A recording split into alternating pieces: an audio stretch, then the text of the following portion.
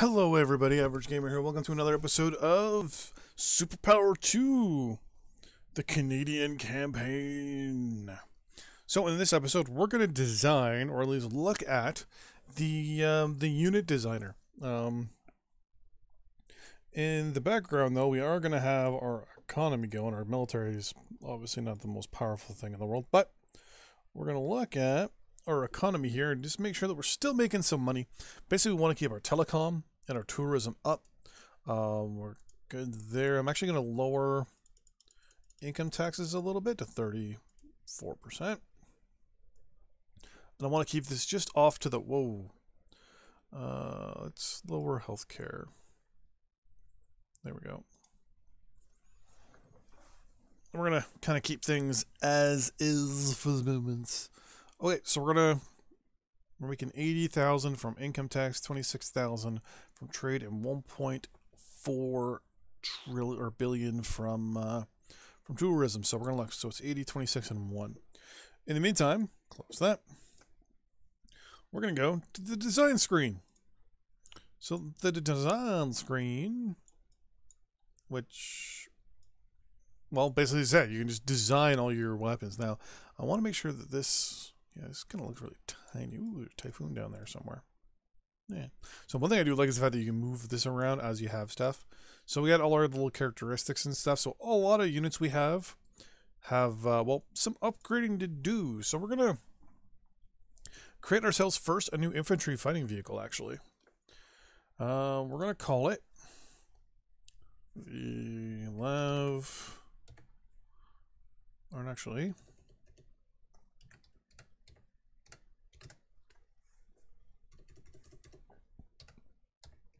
the coyote. So first we're going to pick its its options. Well, obviously we want the fastest speed possible, uh, best armor, best sensors, good gun damage, great gun precision, and obviously really good range. So it's pretty much already kind of what we want there. As for hull types, let's take a look to see what we can do with it here. I want it kind of like how the LAVs are for the Canadian Forces. So we kind of want something like this. I'd prefer a better hull though. That's very lavish. lavish. Um, yeah, let's say this one seems to be the closest.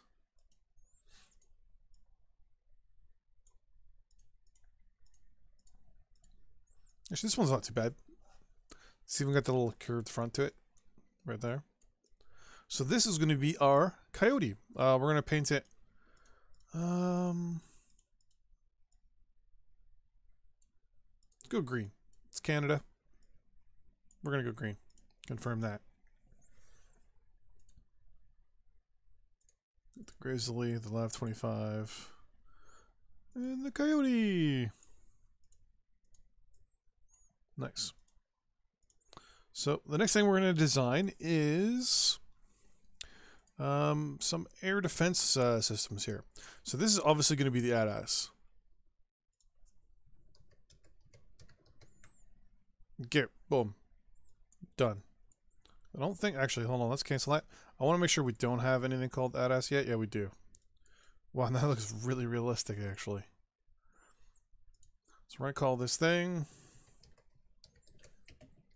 the ADATS 2. And basically we're going to give it the same thing. Max out all its stats. Shows you how much it's going to cost per unit. Uh, we're going to name it anti, there we go, air defense. One of the best things actually is you can click the ADATS, see its characteristics, and you can see where it needs work. So, for example, we're missing something with really good gun range. Miss basically anything with guns. We're missing stuff with guns. We got good missiles, no guns. So what we can do is we can do one. We can do one of two things. One, we can build one that's specifically associated with guns, or we can just build a big one, like one really really good one. Um, I'm actually to go with just a really really good one. So we're to go air defense again. ADATS 2. Basically, I just want to max out all the stats. It's just cheaper. It's just cheaper that way. Instead of having two units do one job, just have one job, one thing that does everything really well. And then turret types. So this is what the ADATS 1 looks like, but we want to change it. That's not what we want. That looks like the Shilka too much. No. Uh, maybe. No, looks really retarded. That looks very moderny. Ooh. With the radar dome in there. The missiles there, but it's got no guns. Missiles. That looks like it's basically just a big radar dish. Missiles. Thing with a dude sitting on it.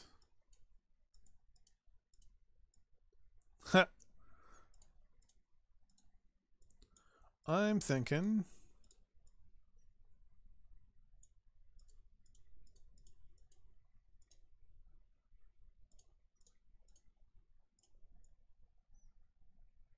Yeah, it doesn't work. This.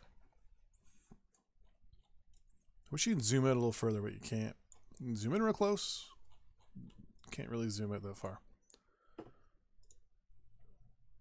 We're making we're making some bank, so we're gonna up our healthcare again now. Back to kind of where it was before a little bit.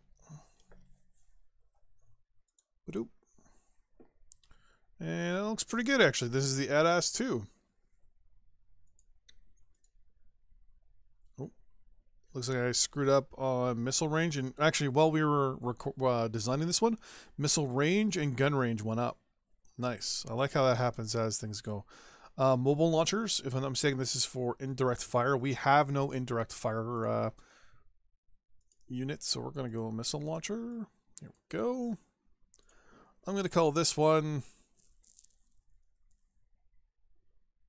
Um, there is a weather pattern.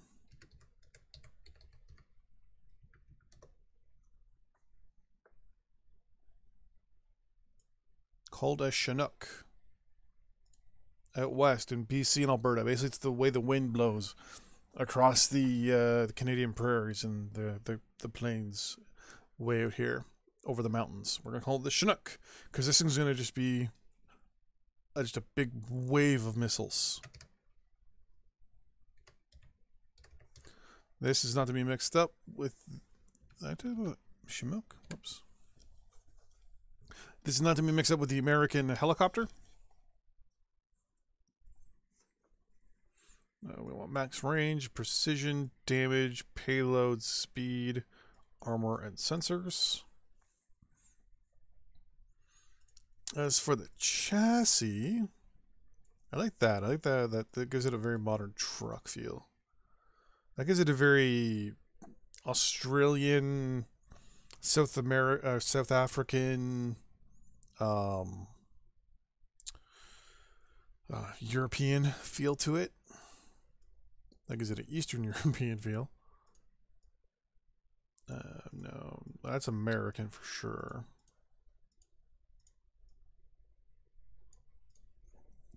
I think I'm going to go with this. We go with the launcher.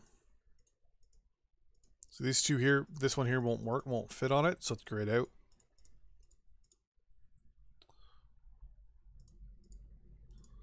Uh, that's not so bad. That looks too old. That looks kind of scary. That doesn't fit. It looks like that's pretty much the one to go with. Because it like fits in perfectly.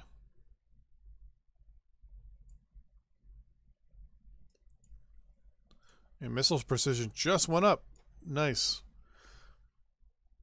So there we go, the Chinook missile launcher. Now tank. Let's take a look at the tank we currently have. Whoops.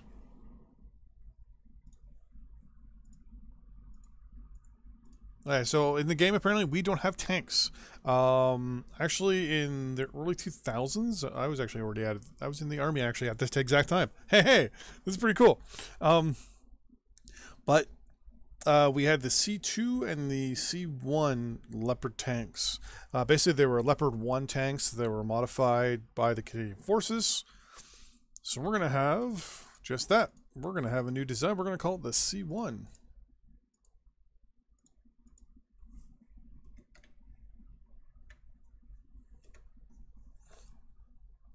Now what we're going to do is we're going to try and keep the same generic hull for the C1 and the C2 tanks. Um, the first tank is going to be going to the first four. The second tank will be the second four, and then the best tank we're going to have is the last one. So first we're going to pick a good hull type. That kind of looks like the Leopard 1. Uh, that, no. That's too modern. Let's go with that one. Then we're going to go with the cannon type.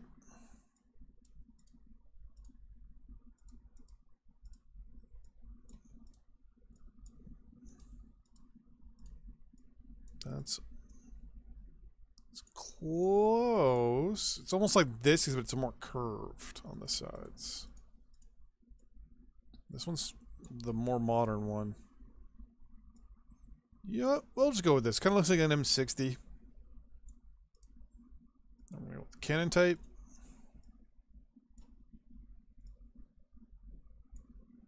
like that right there. That looks older.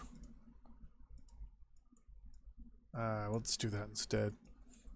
Paint you up green. We're going to give it max armor, max sensors, max speed, max damage, precision, and gun range. The C1 tank. Boom.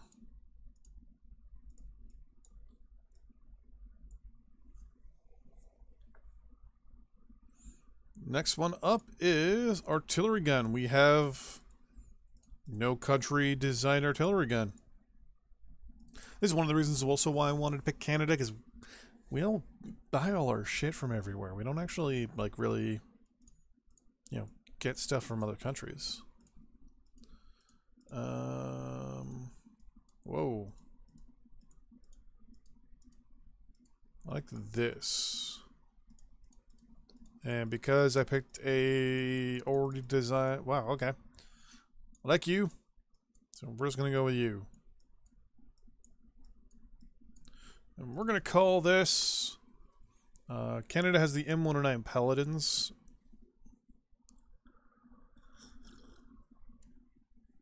This is a little bit bigger and badass in comparison to a... Uh, this is like a, a Russian artillery gun.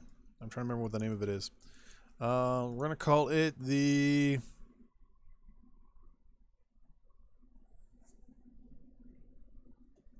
BA-01. Badass. Number one. Artillery gun. Now for attack helicopters, we...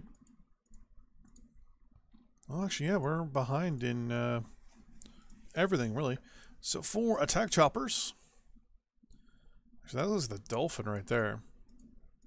Little Bird, Cobra... Obviously... Hmm, that kind of looks like the Jet Ranger right there, but it's a Kiowa. Comanche. The Hind. Uh, the, oh my god, the Apache. Lynx. Uh, Russian thing that starts with a K. Huey. Hokum. Gazelle. The thing that starts with an L. Oh, that's the new. That's the French one that starts with a G as well, and the Dolphin. Since this is going to be our our our first designed um, attack helicopter, I'm going to go with the Hind model. Basically, we're just going to max out everything.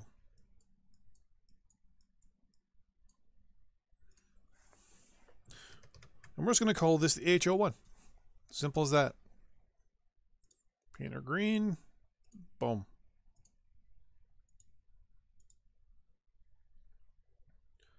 Um, not too worried about transport helicopters. Anti-submarine warfare.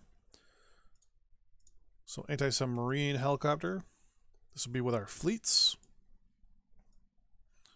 I actually like... Do they have a Sea King model in here? Oh, there we go. There's a cormorant right there. I want to make sure I spell that right.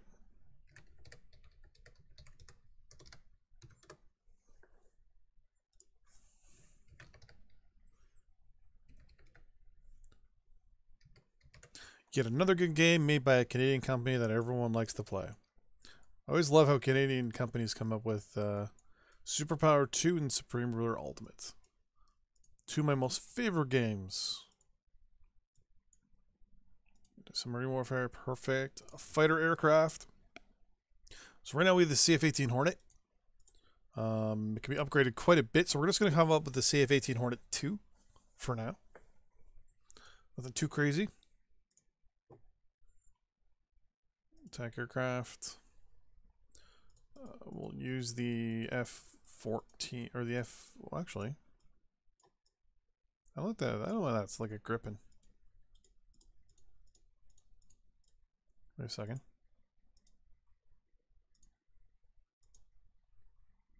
Oh, this is fighter aircraft. We have we we don't have an attack aircraft.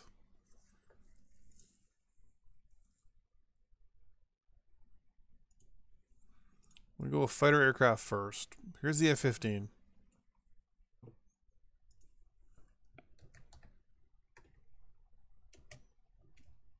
We're gonna call this the F-15C for the the F-15C Canuck. And actually, technically, that's wrong. This should be CF15.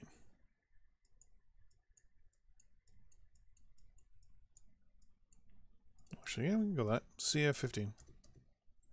Super Eagle. Your green. Boom. So we have the Super Eagle, the Hornet, and the Tiger. For Tiger aircraft, we have Nada. So we're going to design ourselves. I'm going to check to see how long we're going for. We've been going for 20 minutes.